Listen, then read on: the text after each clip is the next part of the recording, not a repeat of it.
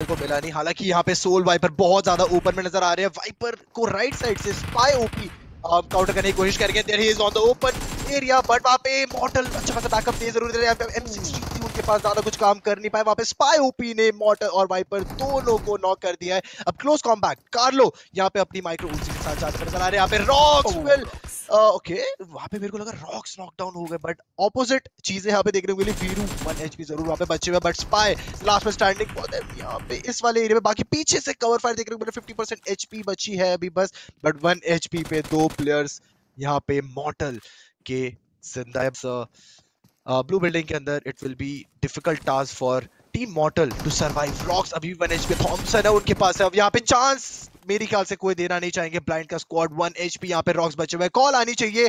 बस घुसो एंड मारो। टीम को करो वाइप मुझे लगता है कि वीरू को यहाँ पे थोड़ा सा ज़रूर पीछे रहना चाहिए था, क्योंकि उनके पास एचपी थी, उनके पास हीलिंग्स थी। उन्होंने हीलिंग इस्तेमाल करी थी रॉक्स आगे जाते अगर वीरू उनका ट्रेड लेने की कोशिश करते तो शायद यहाँ पे थोड़ी और लंबी हमें फाइट देखने को मिल सकती